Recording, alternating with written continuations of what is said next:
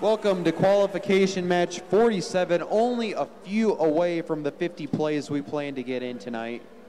With five seconds left in autonomous, 328 and 71 will dock for their alliances respectively. That will carry us into the teleoperated period. With six robots live and moving around the field.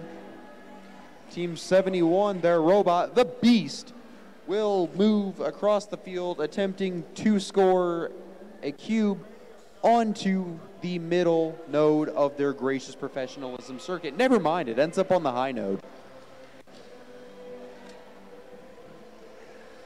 320, 328, the Golden Rooks, being cheered on by a very enthusiastic student presence in the crowd, grabbing a cone, grabbing a cone from the middle of the field, moving over to score it. Their partners, 91-19, the Iron Legends, doing much of the same at the moment.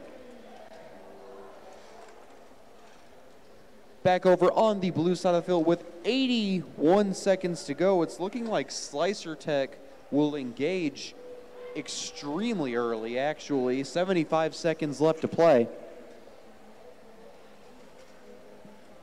1555 Cryofrost zooming back across the field. They have been cycling impressively quick all event long.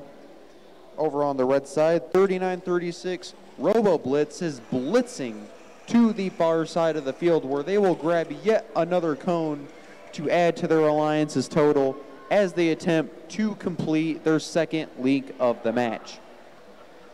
Over on the blue side of the field, it looks as though, unfortunately, we don't have any links yet. That's bound to change with the scoring acumen of these teams. Slicer Tech unengaging briefly before getting back onto the charging station. We have entered the end game, the final 30 seconds of the match, where 328 Penn Robotics Golden Rooks will score one final cube before moving to engage with their alliance partners. That would be 39-36 Robo Blitz. Over on the Blue Alliance, they are happy with their double engage and remaining dormant. 91-19 Iron Legends chooses to continue working until the end for their Red Alliance.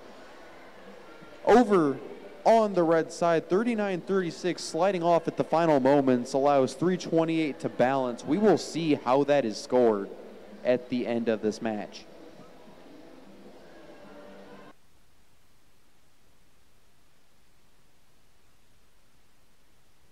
Let's take a look at our scores in this close, exciting match.